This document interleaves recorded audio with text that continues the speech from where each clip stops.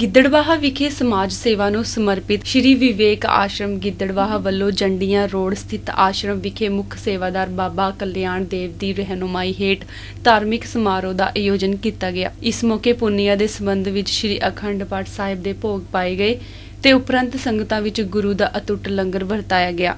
ਇਸ ਧਾਰਮਿਕ ਸਮਾਰੋਹ ਦੌਰਾਨ ਮੁੱਖ ਮਹਿਮਾਨ ਸੁਨੀਲ ਬਾਂਸਲ ਤੇ ਐਡਵੋਕੇਟ ਗੌਰਵ ਜੈਨ ਚੀਨੂ ਵੱਲੋਂ ਆਸ਼ਰਮ ਦੀ ਐਂਬੂਲੈਂਸ ਸੇਵਾ ਤੇ ਹੋਰ ਭਲਾਈ ਦੇ ਕੰਮਾਂ ਵਿੱਚ ਸਹਿਯੋਗ ਦੇਣ ਵਾਲੇ ਦਾਨੀ ਸੱਜਣਾ ਦਾ ਉਚੇਚੇ ਤੌਰ ਤੇ ਸਨਮਾਨ ਕੀਤਾ ਗਿਆ। ਕੀ ਨਾ ਬਾਬਾ ਜੀ?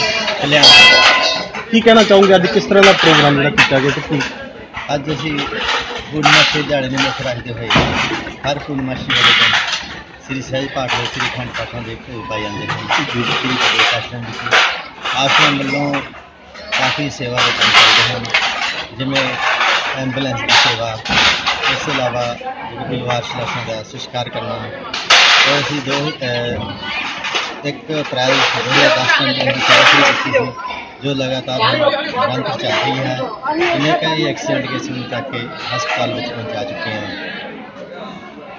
ਬਸ ਵਾਧੂ ਹੈ ਜੀ ਇੱਕ ਮਿੰਟ ਫੋਨ ਲਾਲਾ ਨਾ ਦੂਜੇ ਚਲੋ ਜੀ। ਹਾਂਜੀ ਜੈਨ ਸਾਹਿਬ ਕੀ ਅੱਜ ਦਾ ਇਹ ਪ੍ਰੋਗਰਾਮ ਸੀਗਾ? ਸਾਹਿਬ ਪਟਨਾ ਦੇ ਭੋਗ ਵਾਸਤੇ ਬਾਬਾ ਜੀ ਨੇ ਬੁਲਾਇਆ ਸੀ। ਤੇ ਇੱਥੇ ਪਹਿਲਾਂ ਵੀ ਅਸੀਂ ਕਾਫੀ ਟਾਈਮ ਤੋਂ ਸੁਣਿਆ ਵੀ ਬਹੁਤ ਸੇਵਾ ਦਾ ਕੰਮ ਇੱਥੇ ਬਾਬਾ ਜੀ ਕਰਵਾਉਂਦੇ ਆ। ਐਂਬੂਲੈਂਸ ਦੀ ਸੇਵਾ ਦਾ ਕੰਮ ਚੱਲਦਾ ਹੈ। ਐਕਸੀਡੈਂਟਲ ਮਰੀਜ਼ਾਂ ਦੀ ਜੇ ਕੋਈ ਐਕਸੀਡੈਂਟ ਹੋਇਆ ਉਹਨਾਂ ਨੂੰ ਚੱਕ ਕੇ ਲੈ ਕੇ ਜਾਂਦਾ ਕੰਮ ਚੱਲਦਾ ਇਸ ਕਰਕੇ ਅਸੀਂ ਆਏ ਤੇ ਮੱਥਾ ਟੇਕਿਆ ਬਹੁਤ ਅੱਛਾ।